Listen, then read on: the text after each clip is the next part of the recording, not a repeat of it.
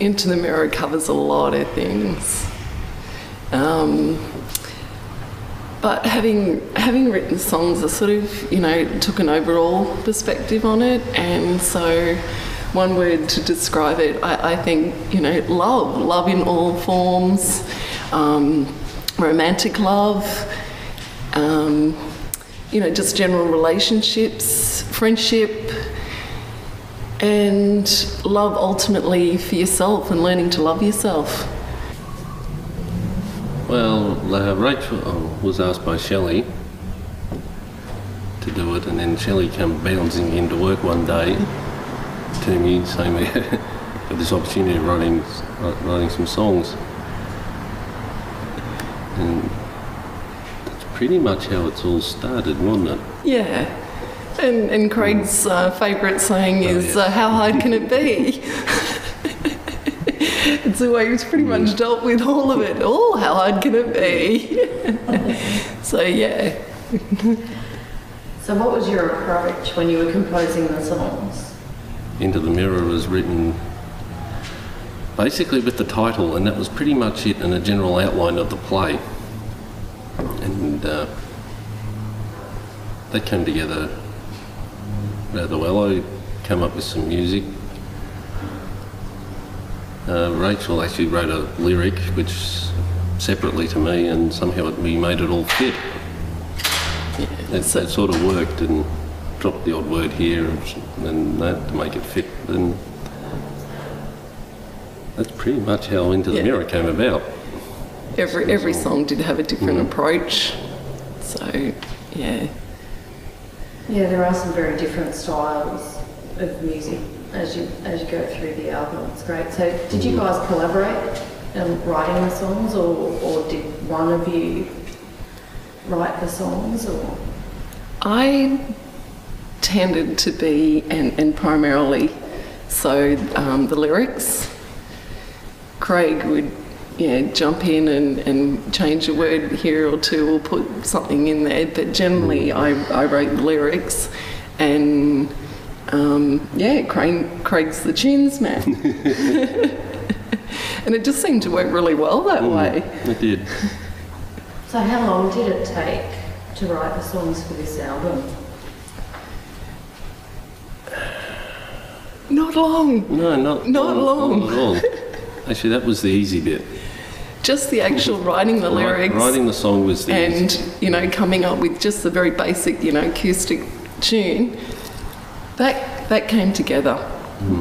quite quickly. We'd get an idea and it'd be finished by that night really. Hmm. I, I'm, I seem to work that way. I get an idea in my head and that's it. It's it's you know yeah done that way. However overall that's another story the whole I mean not that we like to say orchestration but but yeah the, the bringing it all together um, you know, and building on it to make make it a whole. That's what took a lot longer. but yeah, writing them came together quite quite easily, really. Yeah. That's excellent. So, was there a connection with each of the characters to write songs that capture the spirit of the play? Definitely. I don't think you can write music or, or write a song and lyrics particularly unless there is something there. So, you know, the same as, you know, people write of their own experiences and whatnot, it was having to find a connection with each of them to, to, to feel it so that you could put it across and have those emotions. Yeah, so I definitely found a connection with all of them. What were the challenges you guys faced in composing the music and writing the songs for this production? Well, uh, one challenge was when uh, Shelley started developing the characters more and deciding Melanie was in a rock band. We thought, oh, okay, now we have to ri- write a song that would sound like what her band would sound like. Yeah, it was kind, And- kind of a given, Yeah. you know. We thought, oh, okay, we can we can do this. And after a few days of thinking, how the hell are we going to do this? Or what are we going to write? Um, jokingly, I said we'll call it cyanide. So we sat on that for a few few days, I think, Yeah. as a you know joke title, and then I was one day I was playing with a drum machine and sped up a drum loop, started playing the guitar. Rachel starts sort of humming something, you know, and then by the time I drove home, she'd written a lyric. That's great. And how important has it been to you guys being involved with Into the Mirror? Really important. It's, mm. You can't describe. Once we got involved, it's like, what have we do, been doing all our lives? This is this is great. Like this is something we really mm. feel that we've wanted to do, but you know, you want to do something, you're not sure what it is. For me, I feel like I've arrived 40 years of age and I'm finally doing something that I love doing. What part of the process have you enjoyed the most about writing and producing music? There's too many things, way too many enjoyable moments from just getting together with Craig in the first place with, you know, simple acoustic guitar to we've been really lucky to have some pretty amazing people come on board and just have faith and they still barely really know us and they, you know, worked on this project with us. And how do you see the play touching and inspiring the audience? Buy the CD, you can take something. but yeah, potentially everyone will see something hmm. different from this. Well- so I really do believe that that not one single person will leave there without being touched in some shape or form. What was it like collaborating with Shelley in Into the Mirror?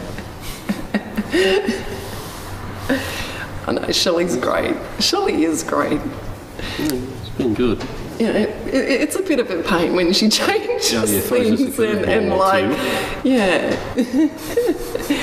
but she tells it how it is, you know, straight up front. I- If, am I allowed to say on camera if something's crap? If she thought the music was crap, she'd tell us. Well, yes, it's been good because every song we've presented to her, she's liked, so that's that's always a good Yeah. start. There, there's definitely very upfront and honesty, and she's been great like that and incredibly encouraging. Do you have a favourite scene in the play? I know, I'm looking hmm. forward to the ballroom scene and the whole, you know, because being a bit of a romantic, but that whole whole tension and then the other, you know, yeah, I'm really looking forward to seeing that un- unfold. How does Into the Mirror celebrate acceptance? Yeah, we've all done it. We've looked into the mirror and haven't seen who, you know, we feel inside. Everybody's done that. So, yeah, that ultimate acceptance that no matter what this is, you're happy within yourself. A toast to the mysterious link between mothers and daughters. What does that mean to you, Rachel? Oh, the mysterious link between mothers and daughters. For everybody, that's different. How do you how do you describe that? Honestly, how do you describe that? There is a link, no matter whether you're in your life or not. It's- yeah, I, I'm not sure how I can describe that. Being that, yeah. All I can say is I wouldn't have been able to do any of this without my mum, that is for sure.